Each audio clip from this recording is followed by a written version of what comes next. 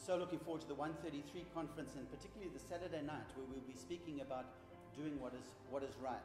We'll start off by looking at, at scripture and just seeing what God has to say on the, on the matter. And Kevin Haviland will be opening up those scriptures for us. We'll then be looking at what we as a COGS community are doing in the, in the area of doing what is right and looking at opportunities for you to get engaged. So get registered, get excited, see you at the conference.